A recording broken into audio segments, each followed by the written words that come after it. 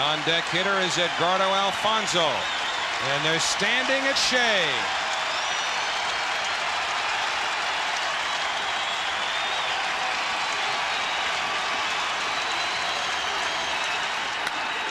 Deep to right field. Oh. oh. Back to the wall, McGuire.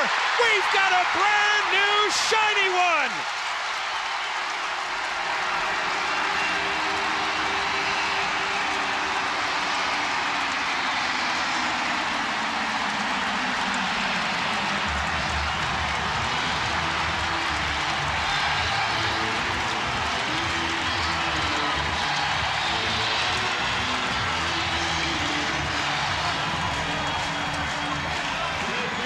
About this? Bases loaded.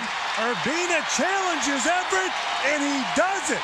And this ball game's tied up at six.